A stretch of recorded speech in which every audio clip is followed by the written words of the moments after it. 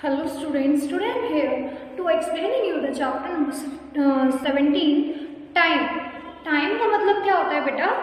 Time का मतलब होता है समय. ठीक है? तो आज हम इसी के बारे में पढ़ने वाले हैं. So open page number 132 of your maths book chapter number 17 time day and night day and night का मतलब रात और दिन. The period for which the sun rise called a day वो टाइम वो समय जब सनराइजेस यानी सूरज निकल रहा होता है, उसको हम क्या बोलते हैं? मॉर्निंग सॉरी उसको हम क्या बोलते हैं? डे जब सूरज निकल रहा होता है, उसको हम क्या बोलते हैं? डे डे का मतलब दिन. The period for which the sun sets is called night और वो समय जब सूरज डूब रहा होता है या डूब चुका होता है, उसको हम क्या बोलते हैं? नाइट जब सूरज डूब चुका होता है, उसको बोलते हैं नाइट यानी रात। और जब सूरज निकल जब निकल गया होता है, उसको बोलते हैं डे यानी दिन। So days are bright and sunny तो दिन जो होते हैं, वो कैसे होते हैं? धूप, जिसमें मतलब धूप होती है, चमकदार और रोशनी वाले। Nights are dull and dark और नाइट्स कैसी होती है? अंधेरी। और डल का मतलब मतलब जब रोशनी जा चुकी हो। पार्ट्स ऑफ़ द डे दिन के भाग। फ़र्स्ट है when the sun rises it is morning जब सूरज उग जाता है, तब उसको हम क्या बोलते हैं? मॉर्निंग फिर second when the sun is overhead it is called noon overhead का मतलब होता है कि जब जो सन होता है, यानी सूरज, वो हमारे एकदम सिर पे हो, यहाँ पर। ठीक है? मीन्स हमारे सिर के ऊपर नहीं, ऊपर आसमान ऊपर मिड में आ जाए। जब सूरज मिड में आ जाए, तब क्या बोलते हैं उसको? ओवरहेड यानी नून जब सूरज सिर के ऊपर आ जाए, तब हम उसको क्या बोलते हैं? नून यानी दोपहर का समय। When the sunlight start fading it is called evening और जब सूरज की किरणें, जो सूरज की रोशनी है, वो फेड होने लग जाए, यानी गायब होने लग जाए, ठीक है? तो उसको क्या बोलते हैं?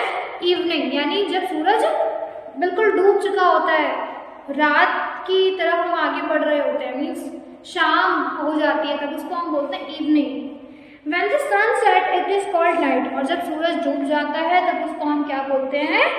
Night the interval between noon and evening is called afternoon वो समय, उस बीच का समय जब नून यानी दोपहर और इवनिंग यानी शाम.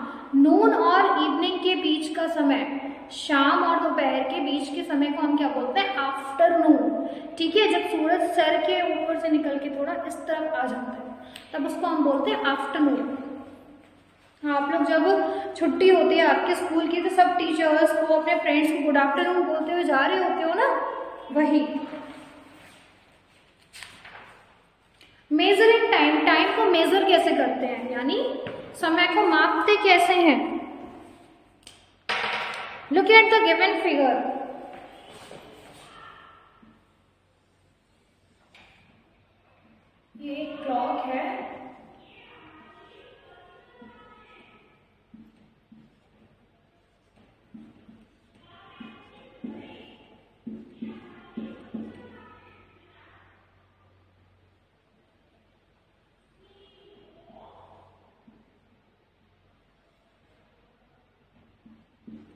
तो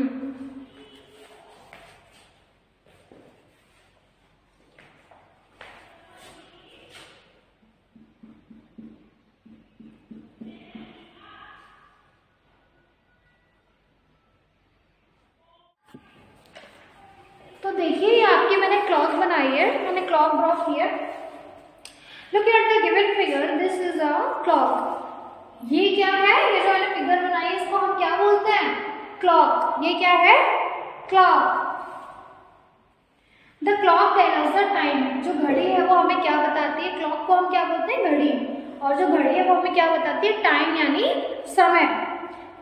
The face of the clock is called dial और जो क्लॉक का फेस होता है ना, इसको हम क्या बोलते हैं? डायल इसके फेस को हम क्या बोलते हैं? Dial there are twelve numbers one two three four five six seven eight nine twelve on the face of the clock जो क्लॉक का फेस होता है ना उसका चेहरा उसके चेहरे में पूरे ट्वेल्व नंबर्स होते हैं क्योंकि हमारे कितने आवर्स होते हैं टोटल ट्वेल्व आवर्स होते हैं यानी बारह घंटे। A clock has two hands clock के कितने हैंड्स होते हैं बेटा? टू हैंड्स एक होते हैं आर हैंड और एक होता है मिनट हैंड जो आर हैंड होता है वो हमें आ, मतलब पहर का घंटे का बताता है कि इस टाइम कौन सा आ, मतलब टाइम हो रहा है कितना बज रहा है यहाँ पे अभी जैसे थ्री ओ क्लॉक हो रहा है है ना और जो मिनट हैंड है वो हमें मिनट्स के बारे में बताता है। The shorter hand is called the hour hand shorter का मतलब जो छोटा हाथ होता है। है ना? तो जो छोटी सुई होती है, हाथ को हम सुई भी बोल सकते हैं। घड़ी की सुई। तो जो सुई छोटी होती है, उसको बोलते हैं आर हैंड यानी शॉर्टर हैंड को हम क्या बोलते हैं? आर हैंड और जो लॉन्ग होती है, उसको हम क्या बोलते हैं? मिनट हैंड यानी जो लंबी होती है, उसको हम क्या बोलते हैं? Minute hand In the clock shown above, the hour hand is at 3 and the minute hand is the 12. तो इस ये जो क्लॉक दी गई क्लॉक है इसमें आर हैंड थ्री की तरफ़ है और जो मिनट हैंड है वो ट्वेल्व की तरफ़ है। तो आर हैंड हमें ये बताता है कि क्या टाइम हो रहा है। तो इस टाइम क्या टाइम हो रहा है? Three o'clock we say that the time is called 3 o'clock or 3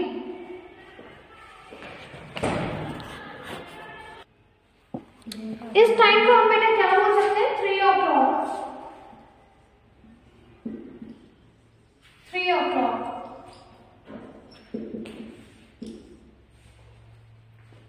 In the shown, uh, in the clock shown here, the hour hand is at seven and the minute hand is at twelve. तो ये जो hour hand है sorry इसको तो हम three O clock बोल सकते हैं इसको थ्री ओ क्लॉक भी बोल सकते हैं या थ्री भी बोल सकते हैं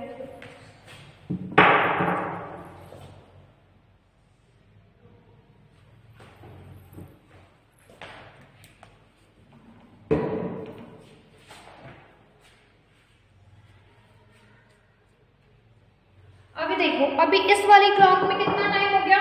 क्योंकि हमारा जो शॉर्टर हैंड यानी हमारा आर हैंड है वो सेवन की तरफ़ हो गया। तो कितने बज गए? सेवन यानी अब क्या टाइम हो रहा है? सेवन ओ क्लॉक सेवन